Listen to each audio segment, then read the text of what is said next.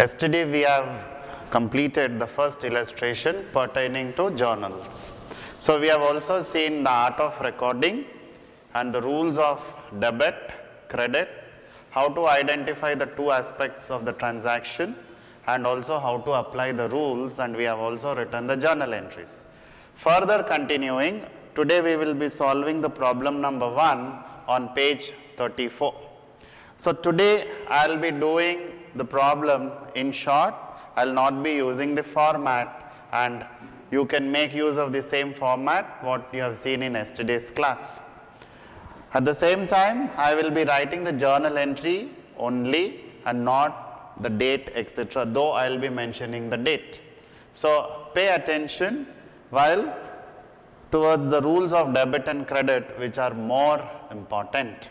So in the problem number 1, we have the first transaction on 2nd Jan which is cash sales. Cash sales is nothing but goods sold for cash. So the two accounts affected here are cash and in this case when we are selling the goods cash is coming in. So the real account says that debit what comes in. So we say cash account debit. Now coming to goods sold, goods are going out. So again goods are real account. So when we sell goods, we will be using the word sales. So as a result, we will be crediting the sales. So we simply say to sales account, now the amount being 10,000. So our journal entry is cash account debit to sales 10,000 each. The narration would be being goods sold for cash.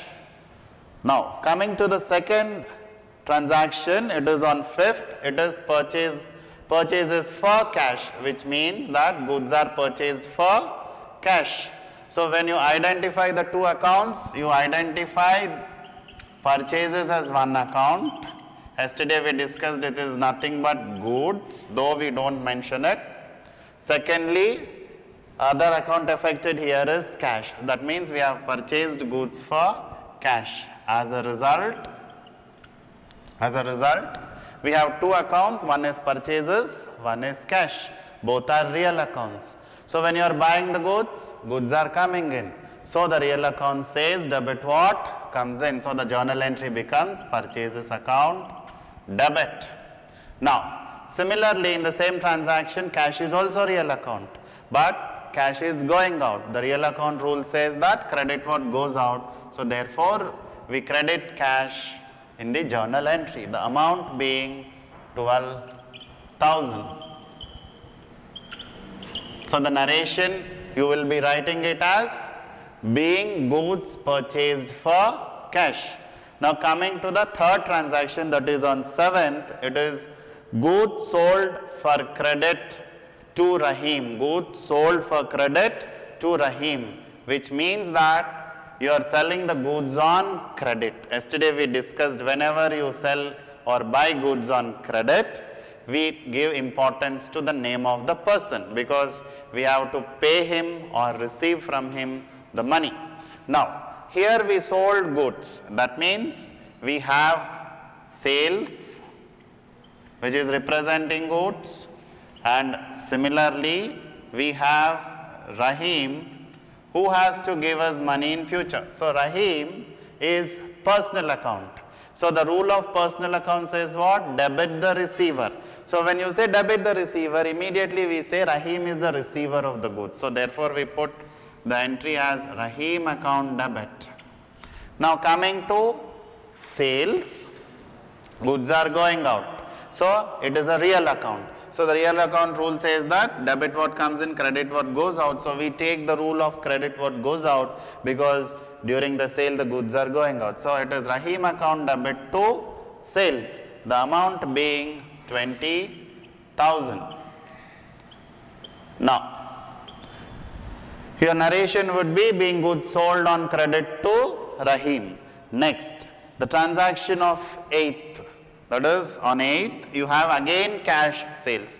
So because it is cash sales the we have the first entry was also cash sales. So we can say the entry remains the same because cash is coming in and goods are going out. So we will take this entry and just I am going to change the amount here. So it becomes 20. So the entry is same. So it is 20,000, 20,000. The narration being goods sold for cash. So for 8th our entry remains the same that is cash to sales because cash is coming in and goods are going out. Now next coming to ninth on ninth we have wages paid we have wages paid. So wages is an expense so expense means it's a nominal account. So when it is a nominal account we say that debit all expenses and losses. So here we are paying wages so it's an expense so therefore we debit wages. So your entry would be wages account debit. Now, when we pay, we have paid wages, cash is going out. So, cash is another account, cash is real account. The rule says that credit what goes out. So, that is applicable to cash here. So, we credit cash being real account and it is going account. So, the entry is wages account debit to cash 5000. Now, Coming to the transaction on 10th, it is deposited in bank.